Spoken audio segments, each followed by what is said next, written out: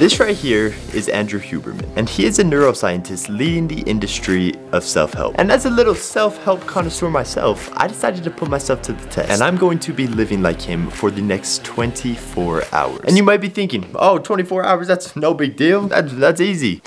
Right. The only problem is, this dude is an absolute superhuman. Wake up at 5.30 a.m., cold plunge, work out, fasting. Honestly, after reading through this routine, I think my chances of survival are about 1.5%. It's not looking too hot. But I guess at this point, I have zero choice. So ladies and gentlemen, I will see you bright and early.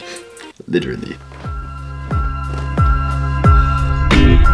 So freaking early, my boy. 5.30 a.m. Why the frick would anyone wake up this early? 7 a.m. is not good enough? Alright. Um, first thing he does first thing in the morning. I don't know why he would do this, but he drinks some of this LMNT stuff. Element?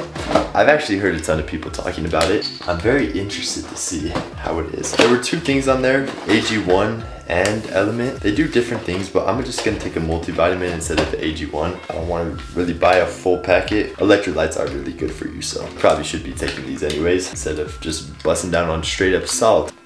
Wow, this stuff's strong. It's flying through the air and getting in my mouth. A lot of people don't think that salt is good for you, but you do need salt. And it's not just salt that goes into electrolytes and hydration. You also need magnesium and potassium, but mmm. That's kind of gas. Seems like it'd be very strong in the morning, but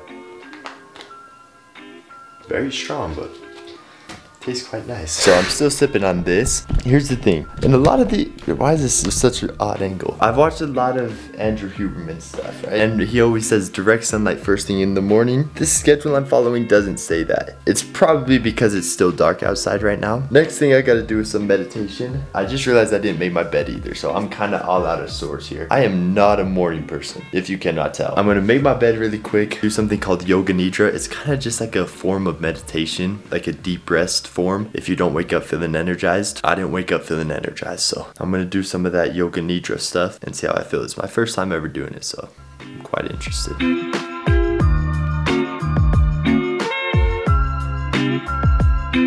Holy cow. I'm not gonna lie to you, my boy. I am feeling pretty good right now. I just did 20 minutes of yoga nidra. 6.30, I'm not feeling too bad. Um, so I've had these lights on in my room and I've also been using my ring light just to kind of start my circadian rhythm before the sun is up. But the sun has been awoken. The frick am I yapping about? The sun is risen over the mountains. I'm gonna jump out here. He does about two to 10 minutes of sun exposure. Whoa, it's a little bit chilly. Two to 10 minutes of sun exposure. Basically just trying to get sunlight in my eyeballs. And sun exposure time, here we go.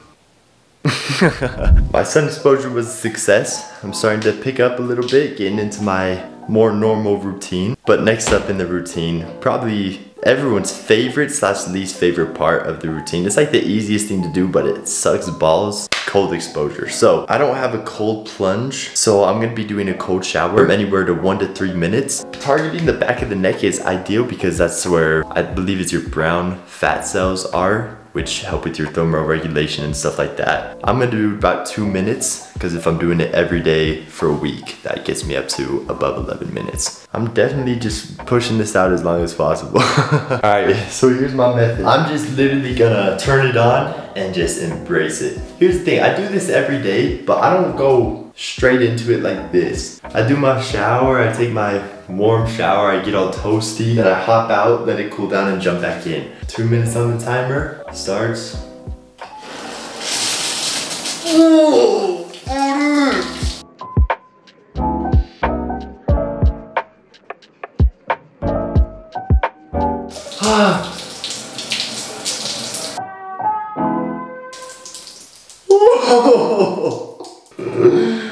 oh, good morning. I made it out alive. For it being 7 a.m., I'm feeling pretty freaking good right now. I've already done probably more than most people in an entire day which is quite impressive. But that woke me up. Here's the problem. Next up on the schedule is a workout. I'm not a morning worker outer whatsoever. So this is probably gonna suck balls, but it's about a 60 minute lifting workout. I normally do this at night, kind of right before I go to bed. But if Andrew Huberman does it, I guess I got to as well. Let's get this grind on. I'm going a little bit off of my normal workout routine. I'm gonna be doing a little HIIT workout. So high intensity interval training. There's been a lot of studies showing that morning cardio is super good for you. My normal lifting workout isn't much cardio, so I think this will go a little bit more up the Huberman avenue. But man, the chances of me throwing up are probably likely very high.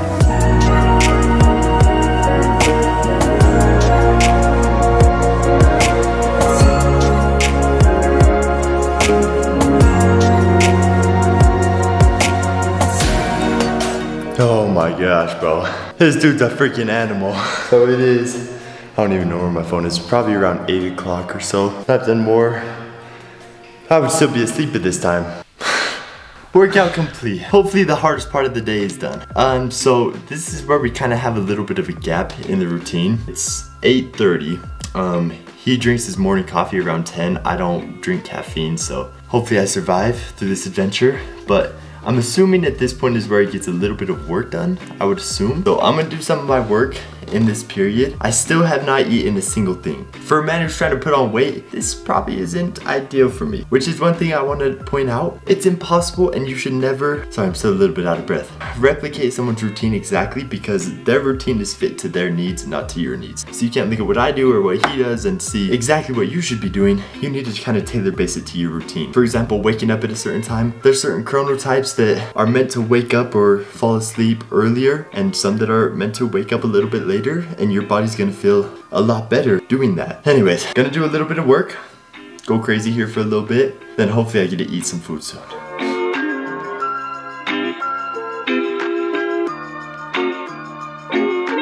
Work session of the day complete, and I guess it's time for a little lunch break. My stomach, I didn't record it, but was grumbling this entire time. I am starving. It's 1 p.m. I haven't eaten a single thing. I've been up since 5.30. Holy frick. Anyways, um, I'm gonna go eat my first meal. So here's the thing. From what I can tell, Andrew Huberman doesn't follow a strict diet plan. I could be completely wrong though. So I'm just gonna just follow some of the ground rules that I've heard from him in the past. First one, avoiding processed foods. Second one, avoiding seed oils. Those are gonna be my main big things. What I have in mind for my first meal, I'm gonna eat some fruit right here. Then I'm gonna bust down on a beef patty. Wait, how many calories are these? 440. I'm gonna bust down on two beef patties. Some fruit, beef patty. I don't have too much food that I get to choose from. I think it's my best option. I am low-key feeling a little bit beat. I've got a thing with eating with my hands recently. I just feel so at one with the food. I swear it makes it taste 10 times better. I'm not even lying, try it. Ooh, -wee. I just went from being the hungriest freaking dude to absolutely stuffed in the matter of minutes. Just kidding, I'm the slowest eater in the world, so that probably took me like, let's see how long actually. About 40 minutes, but hey, I'm feeling good now. So it's about two o'clock. It's time for a little bit more work, it looks like. Got another little gap in the schedule. All right, a quick 90 or so minute work session later. I'm cooked. But Andrew Huberman has thought about this. He's one step ahead of me. He knew exactly how I'd be feeling at this time. And he said, I got you, my boy. So he hooked me up with a 30 minute yoga nidra session. 30 minutes seems a little bit extreme, but if the boy Andrew does it, then I'm doing it. This is putting me at like 50 minutes of yoga nidra in the day. That's a long portion of your day to just sit there. He must really like it. Another yoga nidra session down the hatch. I'm gonna be honest with you, bro. I'm still pretty freaking cooked. So, um, I'm gonna do a teeny bit more work. I don't have anything for another three hours, it looks like on schedule. One thing I'm starting to wonder is when the frick does he get ready for the day? Like he's never once on here told me, shower, get ready. Maybe he just finds some time. So I might get ready here. Problem is I got another little workout to do later, so seems pointless to shower and everything who knows? Anyways, I gotta tidy up my room, some stuff like that. Do some of the tasks I've been putting off doing this routine. But the fact he does this every day is freaking impressive. All right, what's up guys? Long time no see. Um, got a few things done. Feeling a little bit better about life as a whole anyways. It's time for another workout. Let's go, Mr. Huberman. Um, so a little bit of evening cardio, which I just hate cardio. I'm gonna be honest. It's just my least favorite thing ever. Anyways, I don't know if I'm supposed to run or walk. I think it's kind of up to you. Here's the thing. Andrew Huberman himself didn't write this routine. So there's probably some little things that are off, stuff like that. But I'm just gonna follow whatever this says. So I'm just gonna go for a little jog, 30 minute or so jog, get my blood flow up, heart rate up, get the blood pumping before bed. It's a little bit contradicting, but hey, who am I to tell the master what to do? Nice and beautiful day. Look at them mountains, boy. I cannot complain. Jog is complete. Broke me a nice little sweat. I don't know if you can tell, but um, it's dinner time now. Next meal of the day, I'm thinking just to do the exact same thing I ate for lunch. It filled me the frick up and I had a lot of protein, good nutrition. So if I did this in the long run, I would definitely get some groceries and figure out a better meal plan. But I think for now, gets me about right. So gonna bust down really quickly, run it back for old time's sake. Whew, I'm cooked. Dinner complete. I just had a little bit of time talking with my family and stuff, just hanging out with them now that they got home. It's getting close to nighttime. It is about nine o'clock. I'm ready for bed. So it's actually Andrew Huberman's time for bed as well, conveniently. As you can tell, um, to get ready for sleep, he has a pretty simple routine. Dims all of his lights, so I don't have any bright overhead lights going on anymore. Jacks up your circadian rhythm that we worked so hard to correct this morning with our bright morning sunlight. Have these red lights on because blue light is what actually can change your circadian rhythm a little bit. Red light has the least blue light in it, so that's why I have these. And obviously you gotta be able to see me when you film, but I think ideally having no lights would probably be the best way to go. So that's his number one thing. There's a few other things you could do like cooling your room, stuff like that to try and improve your sleep. I've done a million videos on these. At this point, I think kind of throughout this entire video, my brain has been fried. My Whoop told me I got about 5 hours and 14 minutes of sleep last night just because, boy. just because my sleep routine is so set on my other schedule. So I'm really not sure how this one's gonna turn out. Honestly, I kind of feel like I'm living in a dream. So if you want some real good facts, go check out my other videos. I just got back from backpacking trip too yesterday.